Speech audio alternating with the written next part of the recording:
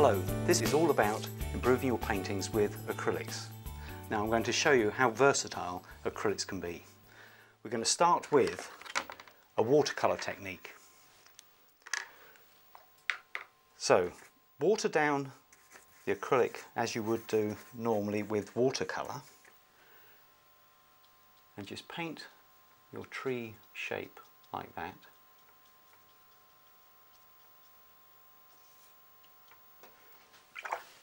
Then with a darker colour, this is some, uh, some hooker's green with a little bit of ultramarine and you can put that dark colour into the side of the tree like that, just the same as a watercolour.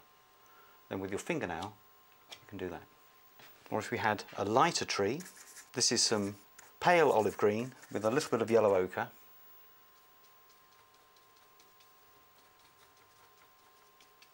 Let's do that. So it's fairly light.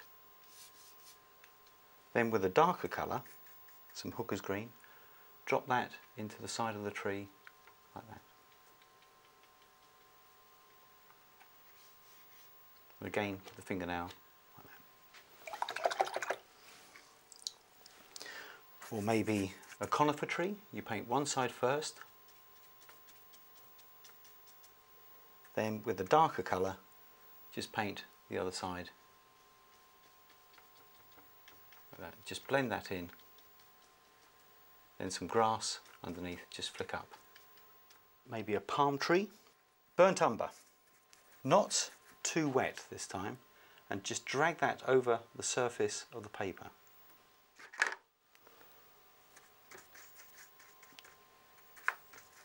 Plenty of colour on the brush. Just try it out to see if it's not too wet. Lay the brush down and just slide the brush away like that.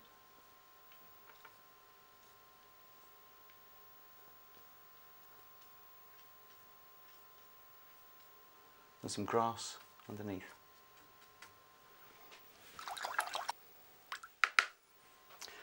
Or maybe a fir tree, like that. A few small brush strokes for the top of the tree then just push the brush into the paper and zigzag from side to side.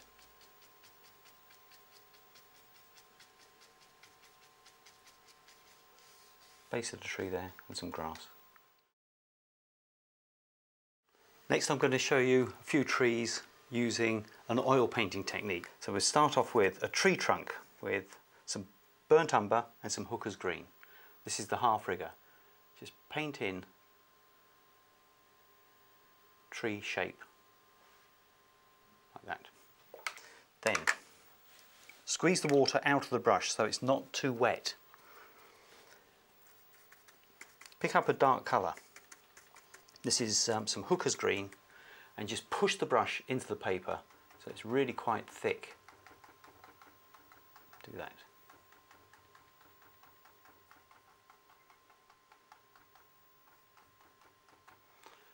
Wash the brush out. And while this is still wet with a lighter colour, this is some pale olive green with a little bit of white. So this is for the highlights on the tree. And then you push the brush with the lighter colour onto the surface. Now what's happening is you're getting that opaque light colour but it's actually mixing with some of the dark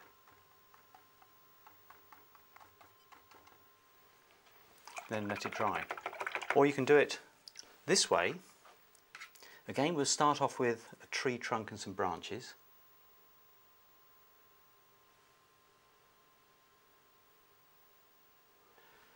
Exactly the same beginning. So you block the tree in first with a dark colour. So plenty of colour on the brush. Push the brush into the paper. So there's the dark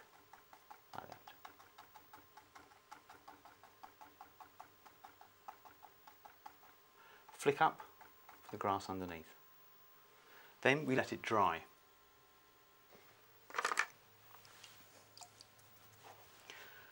When this is dry, then mix up the light colour again. This is same colour, pale olive green with some white. This time we stipple over the dry background. Completely different effect.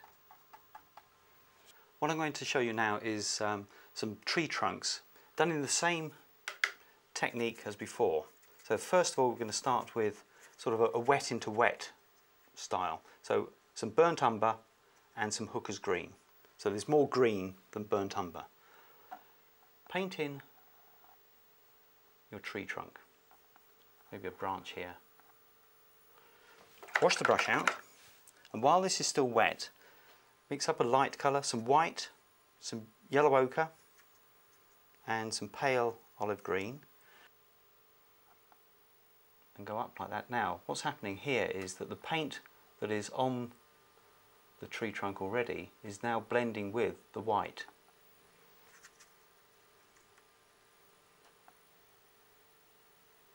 So you can soften it that way. Maybe just a highlight on there and just soften that edge.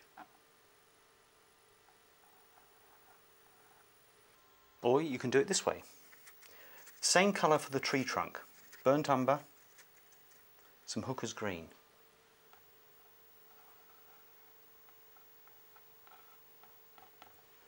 Make it quite dark. There's that branch coming out. But this time we let this dry. Then we add the highlight which is some white, pale olive green and just a touch of yellow ochre.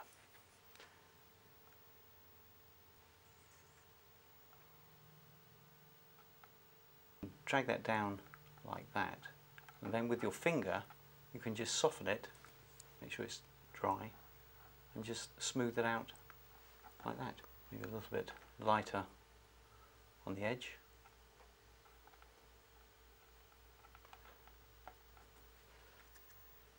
Highlight on there.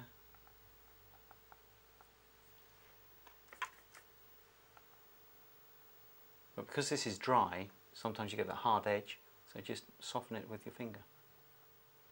We're going to move on to putting texture into paintings. I'm going to start with this um, this is a, a, texture paste. Now you can apply texture paste with a, a palette knife. The, the, canvas is actually a rough surface canvas, but um, so you can just ladle this stuff on. So if you're doing maybe a, a stone wall, old farmhouse or some brickwork, or you can use a stiff haired brush, pick up some texture paste and actually stipple like that so you get another type of texture. This is almost like a modelling clay so uh, just put it on and just let it dry. It will take a little while to dry so be patient. Go and have a cup of tea. Once the texture paste has dried it's still quite flexible. This is on on a canvas and it won't, won't crack. Then, with some the same colour we've got here in the background, which is some white and some burnt sienna, so you can paint over that like that, different colours. So you've still got that texture. Maybe a darker colour. But you could then add maybe a glaze over the top of that as well. So just again let this dry off. What you can then do is add a glaze over the top. Now this is some glaze medium. I'm going to mix it with some ultramarine and a little bit of burnt umber. So it's sort of a grey colour. And just paint that over like that. Just in places. Wash the brush out. Then, with some kitchen towel, just wipe off like that. And it leaves the darker colours in some of the crevices so you get another form of texture. Then when that's dry with a dark colour, this is again burnt umber and ultramarine, you can then pick out different stone shapes. So if this is a, a stone wall, then put some detail in. So almost a, a 3D painting.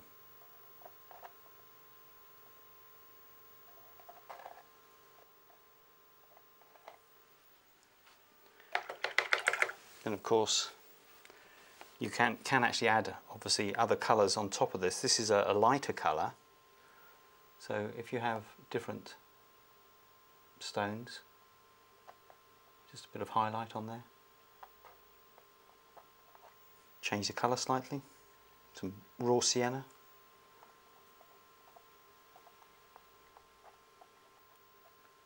When this is dry, you can feel the different textures on the painting and it just shows you how versatile acrylics can be.